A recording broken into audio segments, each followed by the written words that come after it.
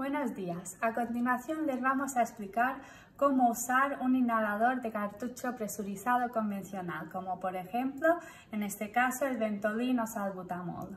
En primer lugar, hay que quitar el protector de la boquilla. Para eso tenemos que sujetar el inhalador suavemente con una mano y con la otra apretamos por ambos lados y quitamos el protector de la boquilla. A continuación, es importante observar que no haya ninguna partícula extraña ni en el interior del inhalador ni alrededor. Si es la primera vez que usa el inhalador, es importante que usted compruebe que funciona correctamente. Para ello, tiene que hacer dos pulverizaciones al aire. Para proceder a la inhalación tenemos que agitar el inhalador para que el contenido se mezcle correctamente. A continuación, se sujeta el inhalador con los dedos índice y pulgar, con el pulgar sujetando la base del inhalador. Antes de hacer la inhalación tenemos que echar todo el aire que podamos por la boca, así,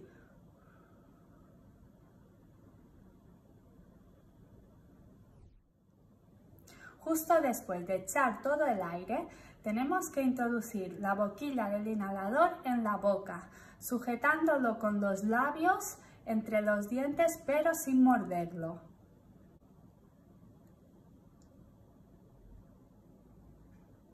Así pues, cuando lo tenemos en la boca, tenemos que coger aire y a la vez que cogemos aire tenemos que pulsar el inhalador. A continuación tenemos que aguantar la respiración tanto como sea posible mientras sacamos el inhalador de la boca y seguir aguantando la respiración. En caso de que necesitemos más dosis, es decir, que tengamos que volver a repetir la inhalación, se tiene que esperar medio minuto, entre 30 y 60 segundos para proceder a la segunda inhalación. Para finalizar, insertaremos el tapón en la boquilla del inhalador colocando y cerrando fuerte para que esté bien protegido. Recordad que es muy importante después de cada inhalación enjuagarse bien la boca para protegernos de, de, futuros problemas bucodentales. Además, también es importante que hagamos una limpieza del inhalador al menos una vez por semana. Para más información, no duden en consultar al farmacéutico.